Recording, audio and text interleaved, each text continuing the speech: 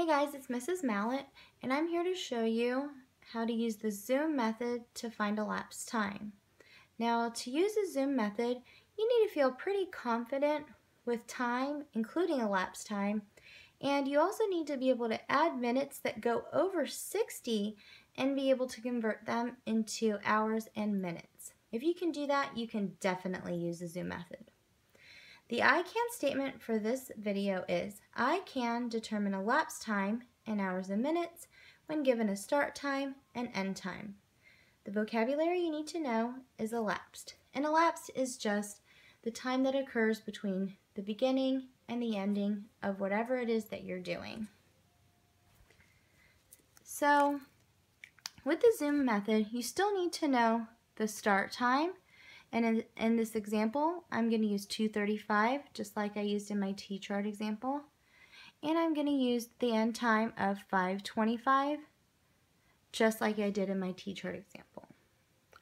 So when you know the start time and end time, you just and you just want to find out how much time occurred between the two, you're finding out the elapsed time.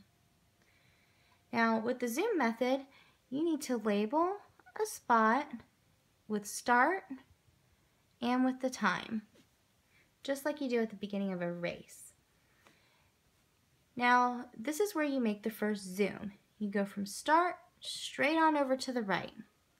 And you're going to go from 2.35 to the next hour, which is 3 o'clock.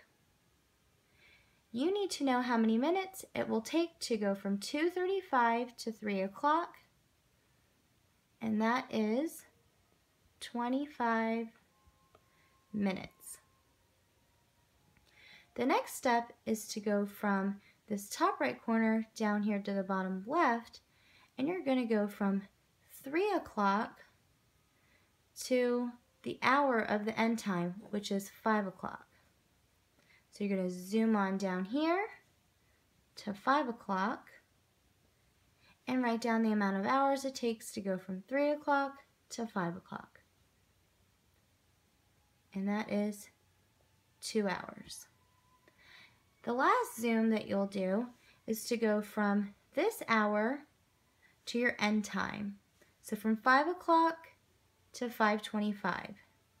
So from here to the end, which is 5.25, label it end, and you write down the amount of minutes from 5 to 5.25 right here in the middle. Now you're not done because you need to add these up just like you do on a T-chart. And you can go ahead and circle them. And this is where it can get tricky because you need to add up all the minutes and also all the hours. So right here you have 25 minutes here and 25 minutes there. So you have 50 minutes and you have two hours in the middle.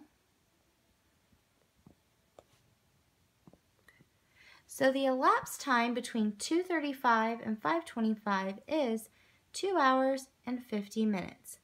However, if you were to get minutes that exceeded one hour, you would have to be able to convert that into hours and minutes on your own. So again, the elapsed time between 2.35 and 5.25 is 2 hours and 50 minutes. I hope you like the Zoom method. I think it's pretty cool.